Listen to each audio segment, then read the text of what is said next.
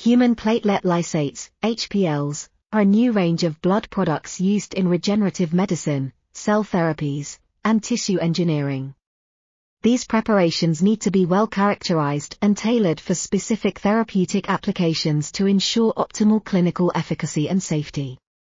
This study prepared five types of HPL from the same platelet concentrates and extensively characterized their proteins, growth factors, cytokines, biochemical profiles, thrombin-generating capacities, thrombin-associated proteolytic activities, phospholipid-associated procoagulant potential, contents of extracellular vesicles expressing phosphatidylserine and tissue factor, and antioxidative properties.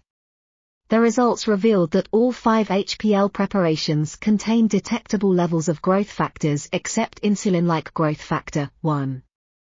There were significant differences among these HPLs in total protein content, fibrinogen, complement components C3 and C4, albumin, immunoglobulin G, functional coagulant and procoagulant activities, and antioxidative capacities.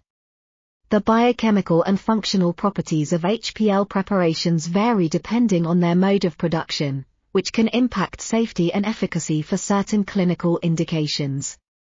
Therefore, modes of preparation should be carefully designed, and product properties evaluated based on intended therapeutic use to ensure optimal clinical outcomes.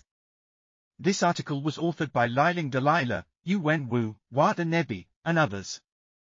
We are RTCL.TV, links in the description below.